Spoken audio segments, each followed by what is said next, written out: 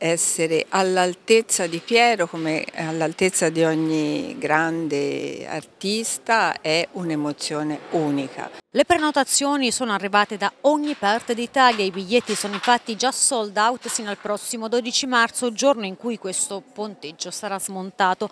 Tutti vogliono vedere da vicino uno dei capolavori di Piero della Francesca, la leggenda della Vera Croce. Bellissimo, eh, la vicinanza dà la, la, la percezione della raffinatezza del disegno, della pittura, della stesura del colore. Il celebre ciclo di dipinti realizzato dal maestro rinascimentale tra il 1452 e il 1466 è sottoposto ad un intervento di manutenzione e restauro conservativo. Prevede la rimozione del particellato solido che come sapete insomma, può essere veicolo di prodotti nocivi per le pitture murali e eh, una volta verificato la presenza o meno di fenomeni di degrado interveniamo nella maniera più congrua. All'interno della Cappella Bacci nella Basilica di San Francesco ad Arezzo è stato così allestito un esclusivo ponteggio accessibile anche a piccoli gruppi di visitatori. Abbiamo trasformato questa, questa quella che doveva essere una chiusura del, del museo in un'opportunità particolare. Gli interventi di manutenzione in programma saranno utili per monitorare lo stato di conservazione delle pitture murali e prevenire l'eventuale degrado dell'opera nei prossimi anni, ma non solo. Permette anche la realizzazione del restauro